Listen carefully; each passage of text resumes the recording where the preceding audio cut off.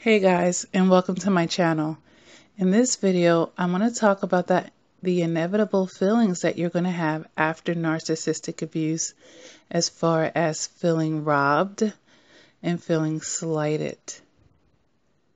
Okay, so you're going to feel slighted and you are going to feel robbed after dealing with a narcissist. And this is because they're takers. We all know that narcissists are takers and they will take, take, take, take, take until you have nothing else to give. They will take your last breath if they need that for supply. Okay? So we're going to feel slighted by how much the narcissist took. And, and they took it in such a manner that you end up feeling robbed as well. Why? Because they're using this false persona to get these things from you. And then when you find out who they really are, you feel robbed because you wouldn't have given those things to their true selves, but you were giving it to their false self when you thought the narcissist was somebody else. And when I say robbed, guys, yeah, we can we can factor in the material and the physical things that they took, but even more than that, we'll feel robbed of these intangible things. And it's far worse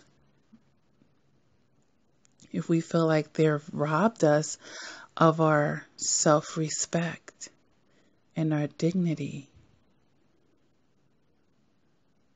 If you feel like they've robbed you of some of your self esteem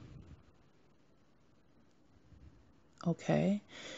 And then you'll feel robbed in, on other layers in which you may feel robbed of actually having, you know, had that genuine relationship, whether it was romantic, okay, I didn't really have a loving husband or a wife, girlfriend or boyfriend, or if it was a family member, a friend, or whatever way that you were dealing with this narcissist, you know that you were robbed of a pure, genuine, positive experience or interaction between two human beings uplifting each other and sincerely caring about one another. That's not what the narcissist was giving you.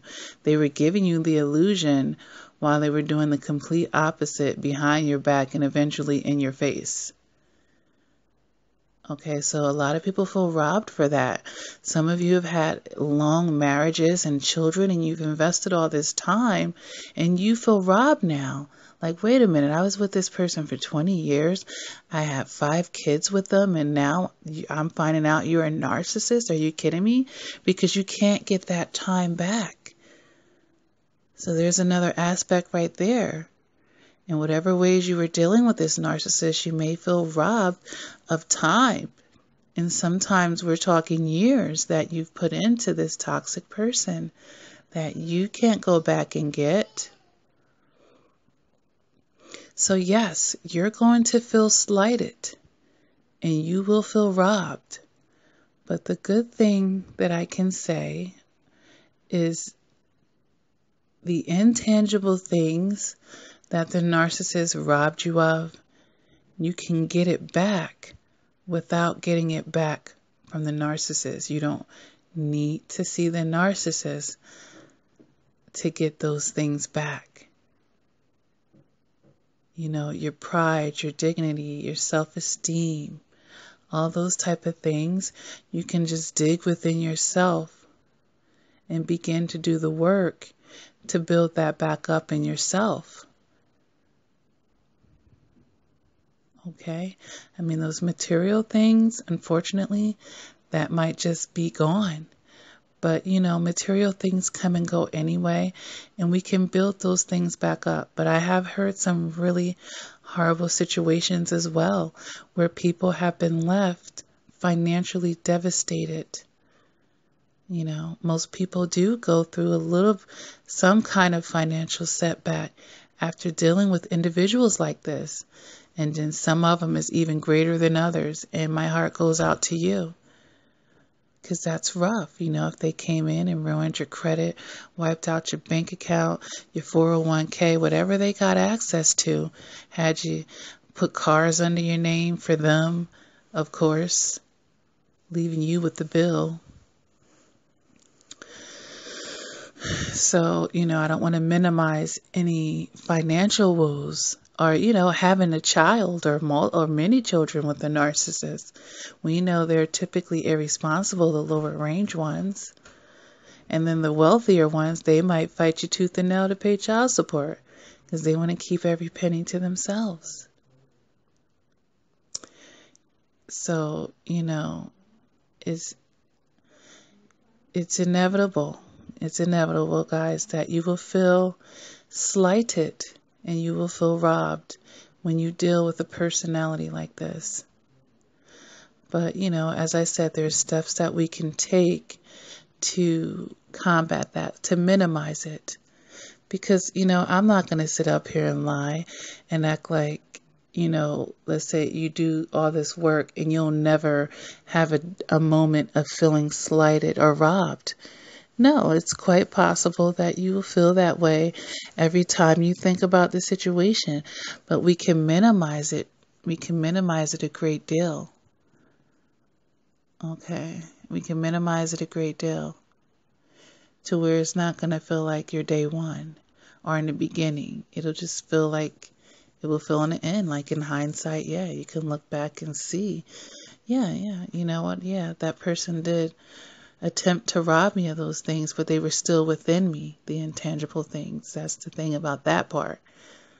Okay, they got that material thing and that, they get nothing else. All right, guys, because you know, I put a lot of positive videos up, and I, this one is a positive one as well. But I do like to always, you know, um, make videos that talk about the full range of emotions and feelings that you are going to inevitably feel. I mean, we're all human here. And, you know, I firsthand can understand these feelings, guys, which, you know, provokes me to make the videos.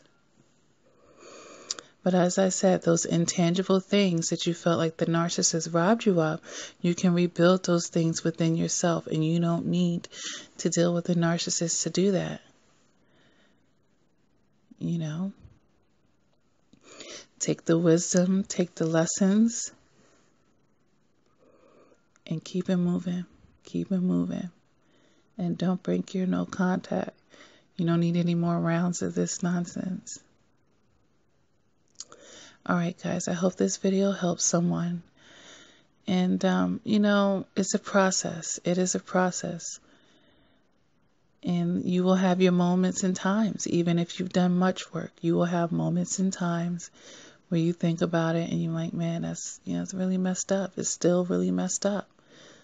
It will all be, it will always be messed up on some level, you know, because it was wrong. It wasn't nice. But again, the whole idea in the healing person process is that it's not going to devastate your life. It won't continue to devastate your life. You'll still be able to have happiness and joy.